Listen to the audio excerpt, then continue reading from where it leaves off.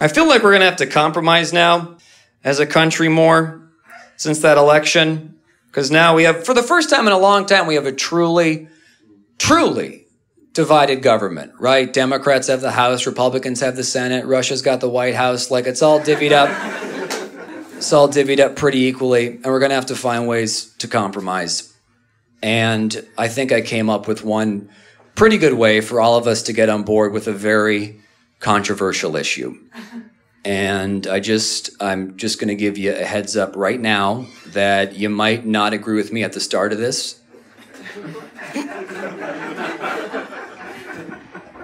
but hear me out. Liberals will allow for more pollution of both the air and the water, but at levels that could only harm the pregnancies they don't want. I feel like that's kind of a win win, right? You're creating jobs, decreasing future competition for those jobs, right? And now you're saving women the whole ordeal of having to undergo that procedure in the first place. Now they can just take a quick swim in a lead tainted Great Lake and be done with it. 10 minutes tops, being called stay skinny dipping. I feel like that's a good name for it, or breaststroke so you don't breastfeed. I'm not a marketing guy, but I feel like there's ways you could go about selling that. Now, I'm sensing some pushback, but in the spirit of the material, I'm going to carry this bit to term.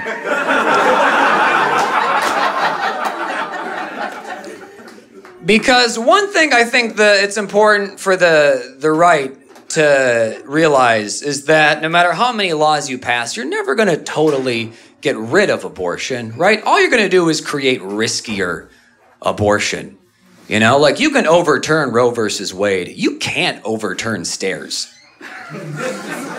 stairs, as long as there's a need for a second level to anything, they're not going anywhere. Or Pizza Ranch, but mainly stairs.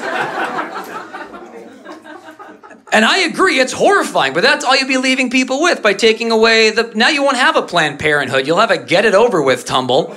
And it's not going to be with trained medical professionals in a sanitary clinic. It'll be a third floor walk up downtown with a guy named Zeke who's like, should I count down first or push you whenever? Like, that's what you're leaving them with is Zeke's house of stairs.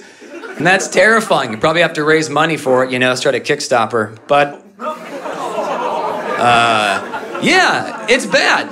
It's bad, but if you are going to do it, be safe. Here's the thing both parties kill people. It's just a matter of style, right? Democrats are upfront about it. Abortion, euthanasia, one shot, you're done. Republicans are more passive aggressive with it, right? They don't kill you directly. It's like, maybe we'll just take your health insurance away from you for a while or make these stay alive pills way too expensive for you. You know, it's very Minnesotan. Very passive. Like, oh, we're not going to stab you or nothing, but if that cancer comes back, oh, we're not going to cover it. No, that's that's between you and God. You upset him. You upset him. You pray to God for help. And again, it doesn't matter what your you know political beliefs are. That's fine. But what gets me are when people try to bring God into it, because that happens all the time. We can disagree. Let's have a debate, but don't bring God into it. But that happens. My family does that. They're like, well, Robert, God's against abortion. Robert, God is against people having their own children killed.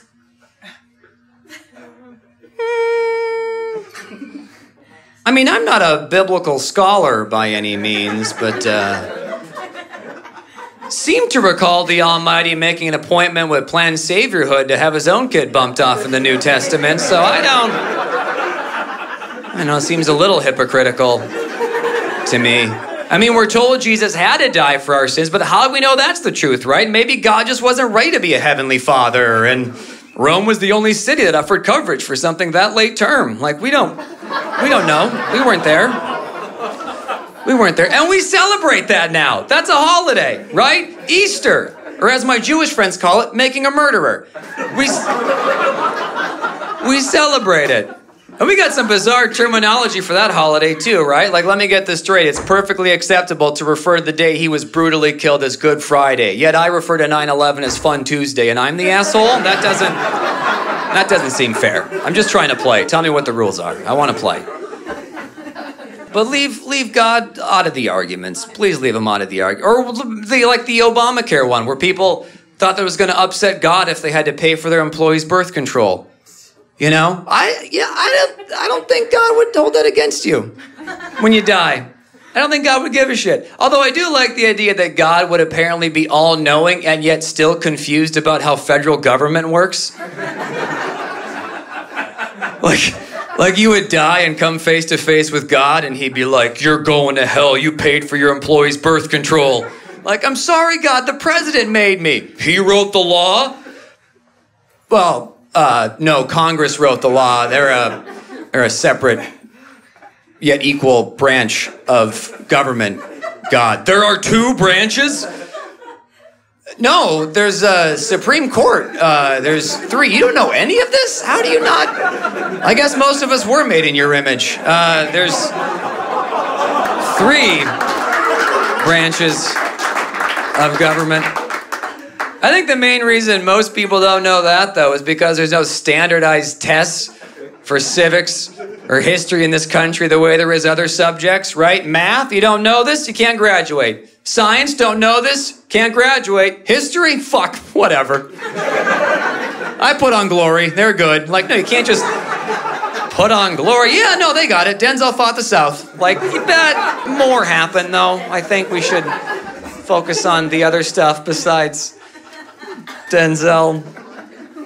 It's pretty sad. I feel like we're about two generations away from kids thinking Abraham Lincoln actually hunted vampires. Just sad, but also kind of badass. It's also kind of bad. As long as we keep him safe from bears, that's the important thing.